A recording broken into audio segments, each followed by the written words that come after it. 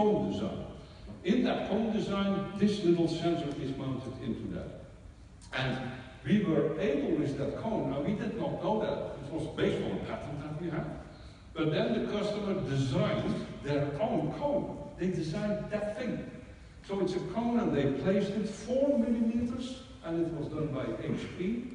So they placed it four millimeters on the drum roll, and what they gained was that the uh, because you have everything on reflection and radiation, and it hits the sensor, and they were able, and we were astonished.